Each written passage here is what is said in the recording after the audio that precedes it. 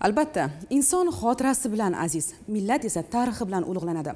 To'qqizinchi may sanasida nishonlab kelinayotgan xotira va qadrlash kunida xalqimiz o'tganlarni xotirlaydi. Har yil ushbu sana arafasida vatan tinchlik yo'lida fidoyilik ko'rsatgan yurt taraqqiyotiga hissa qo'shayotgan insonlar yana bir bor qadrlanib ularga yuksak hurmat ehtirom ko'rsatiladi. Joriy yilda ham mazkur an'anaga sodiq qolgan holda urush va mehnat faxriylari holidan xabar olinib prezidentimizning maxsus sovg'alari topshirilyapti.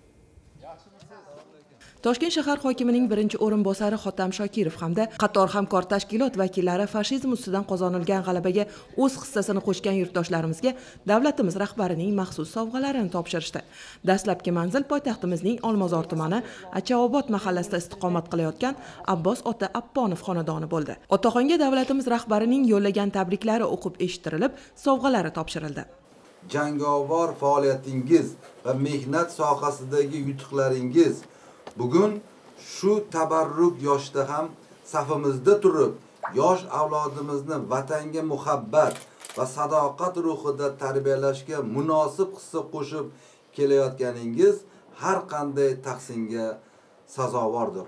O'zbekiston respublikasi prezidenti shavkat mirziyoyev.